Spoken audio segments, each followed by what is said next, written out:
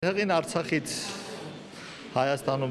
բժշկական օգնության դիմաց հերթական հղիներից էր, ծնվել է առողջ 60 արական սերի բալիկ։ Խոսքն Արցախցի Արայիկի մասին է, ով լույս աշխարհ է եկել հոկտեմբերի 12-ին, հանգամանքների բերումով ոչ թե իր հարազատ Ստեփանակերտում, այլ այստեղ Երևանում։ Ընտանիքի 7-րդ երեխան է ու 5-րդ արուզավակը։ Անունն էլ ստացել է ի պատիվ Արցախի նախագահի։ Մենք ուրիշ անուն դնեինք, երեխաները ասացին բերեք դնեք Արայիկ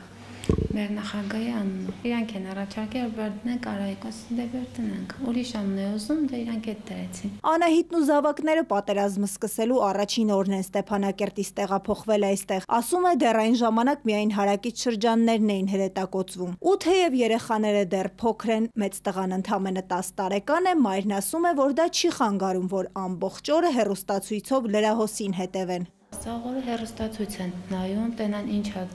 այս մեր փողոցնա, տատի փողոցնա, այս ինչ են արել,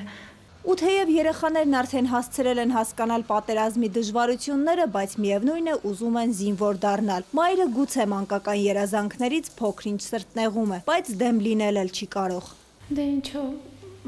ուզում եմ գնալ պետք է դառնան, էլի բամերը երկիրով պետք է պաշտպանի մեր տղաները։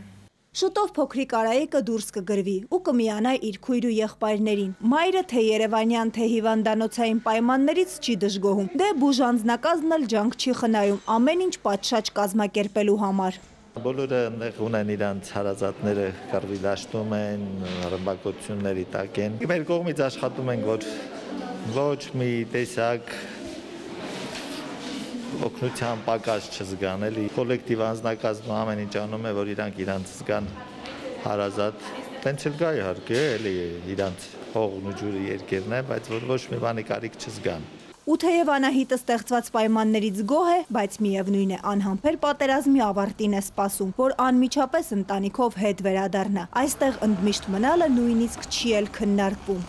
Սիրան Ալեքսանյան, Հայկ Սուքյասյան, Երկիրն այսօր։